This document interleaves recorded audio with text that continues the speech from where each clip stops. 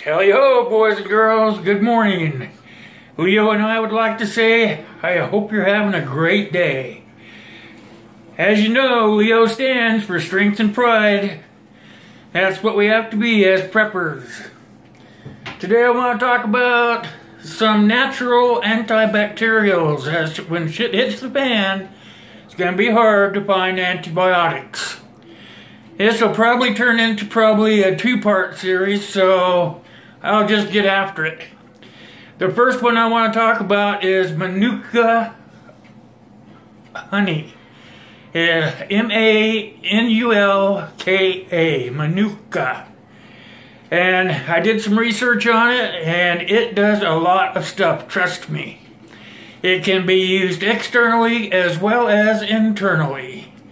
What I found out about it is that Britain added it to uh, its health system in 2004.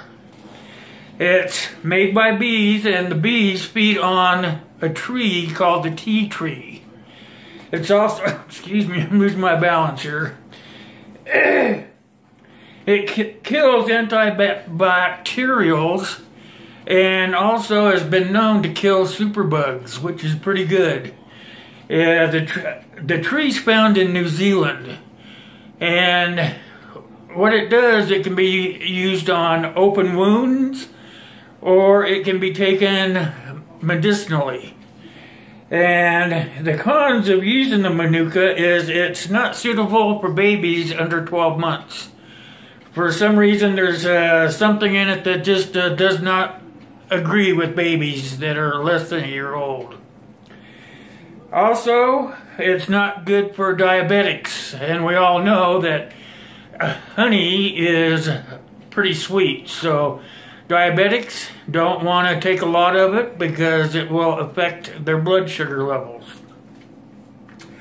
Also, it has some side effects, and let me read it because there's a lot of information on this here.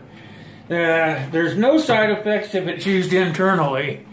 But if it's used externally, it can sting the skin because there's two kinds of Manuka honey. One kind is regular, and then there's another kind called active Manuka. And the active Manuka is the bees, uh, it's hard to explain. The bees feed on the tea tree, which is found in New Zealand, and if they produce the honey soon after they uh, eat the tea tree, whatever it is, I, it's hard for me to explain how they do it because I'm not a bee person. But anyway, uh, regular is after they've eaten it and they're flying around and they go out and they make their hives and they they start making the honey. It's after the uh, tea tree ingredients, whatever's in that, uh, kind of has a way of going down. So it's called regular Manuka honey. And then there's the active Manuka honey where they eat it, they go out, they hive up, they make the honey right away. It has way more stuff in it than the, the regular stuff. So if you take it orally, it's good for soothing your throat or for uh, to maintain your general health. And uh, let me look here for a second. Hold on, I lost my train of thought. Uh, says that all Manuka honey is not born equal. Said that uh, active Manuka honey has been has stronger properties than regular Manuka. The side effects of it are used are from if you use it internally. But it sounds like when shit hits the fan, it's not really going to matter too much because we're going to have to find these outside sources, ways of taking care of ourselves. And it's already sounding like people today are already trying to get away from antibiotics because they're not working like they used to work.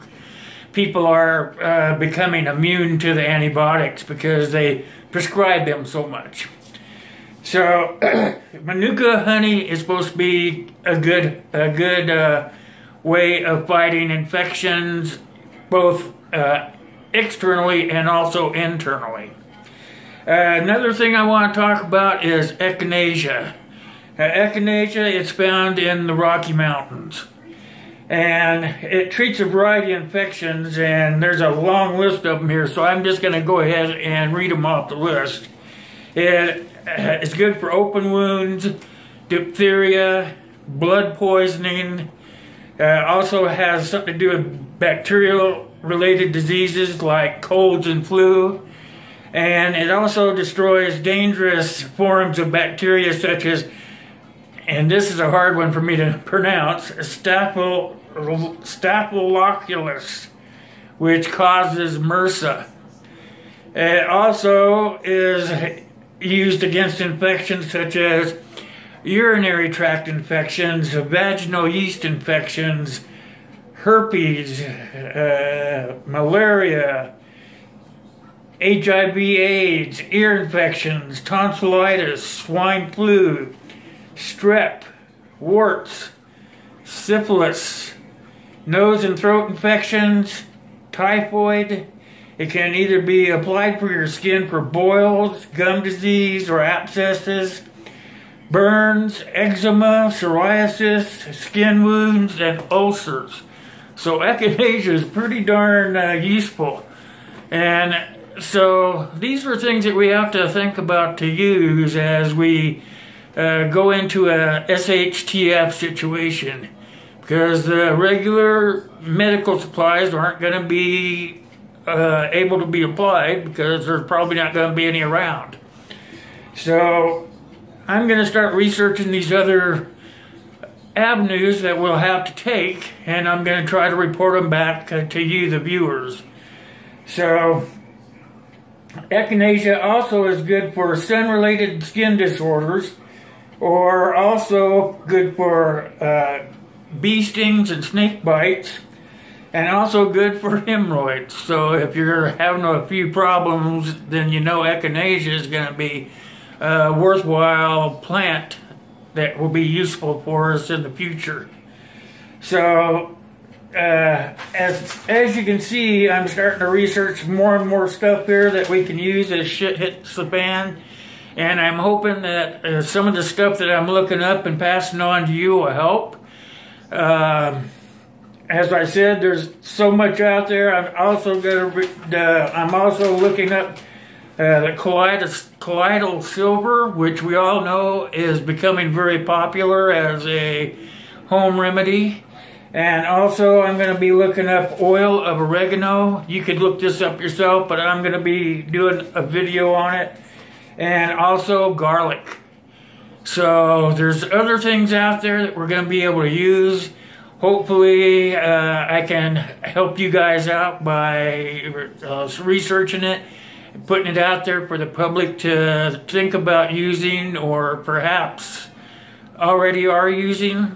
But anyway, that's all stuff that we're going to have to think about because the, the forms of medicines and antibacterials uh, and all these other things that you think you should be storing up, uh, they're all going to go bad over time. So we're going to have to be able to go out into the world and find these other uh, things to do, uh, like the honey. The honey, we already know that they're telling you that you can't really store honey for that long, but that's not true. Uh, it's been used for thousands of years. You can it has a shelf life of mega mega long time.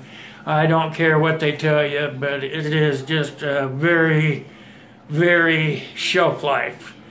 Uh, they it gets darker with age, and that's what they're saying is why you should use it up, but uh, if you're reading up articles, the darker it gets, the better it is. So I am hoping that this uh, kind of helps you out this morning. Uh, the day's going to be brilliant outside. I see the sun start to peek out finally.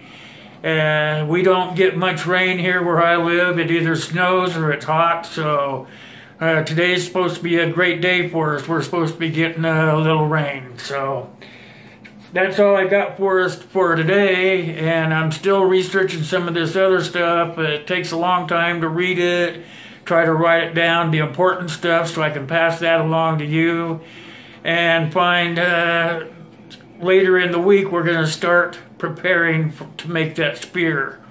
I'm starting to collect all the materials I need. So I live on limited income and it takes me a while to get all the stuff I need to put everything together so I can pass everything on to you. So if you want to donate to my cause, that's great. If not, we'll just have to wait till I can get the stuff put together on my own. So for today, I just want to leave you with uh, Manuka honey because that thing, it really surprised me what all it does.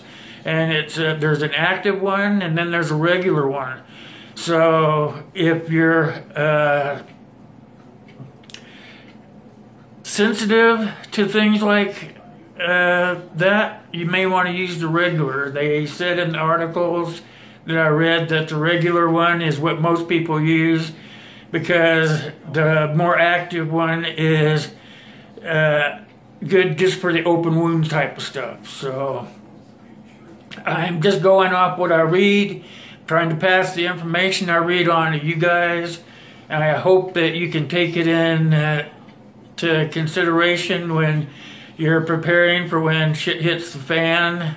The echinacea, it's just found up in the Rocky Mountains. I, I know that you can buy it at health food stores and whatnot. So uh, just start researching because these are all things that we're going to need to know. I'm going to be doing some research and passing that along to you.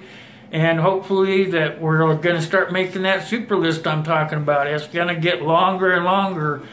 And we're going to be able to be ready for whatever happens. Disasters, wars, whatever. I mean, that's just what you have to do. You have to be prepared for whatever comes along. So for now, Leo and I are saying have a great day. I hope your day goes super fine, and God bless. I will talk to you tomorrow. Ta-ta.